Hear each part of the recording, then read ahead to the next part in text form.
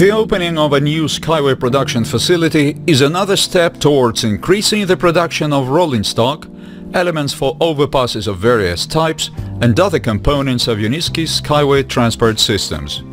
During a small ceremony, the honor to cut the red ribbon at the entrance to the new building was granted to Nadezhda Kosareva, General Director of Skyway Technologies Company, and Alexey Savin, Deputy General Director for Production.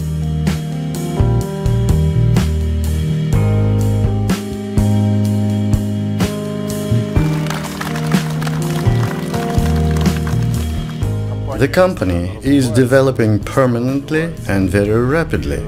Our available production facilities cannot satisfy the whole range of missions that our company sets for itself. Accordingly, this is only the first step towards our project's implementation regarding the arrangement of production.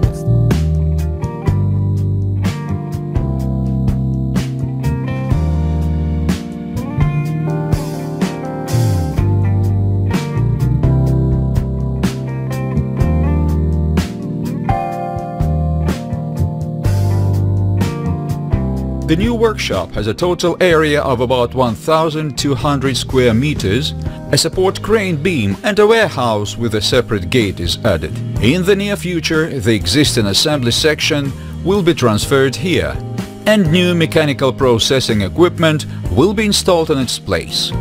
This facility will allow adapting production processes to the current needs of the engineering company, developer of Skyway in a short time arrangement of small-scale production of metal structures, Skyway rolling stock and its components, to ensure infrastructure projects in the Middle East region, primarily in the United Arab Emirates.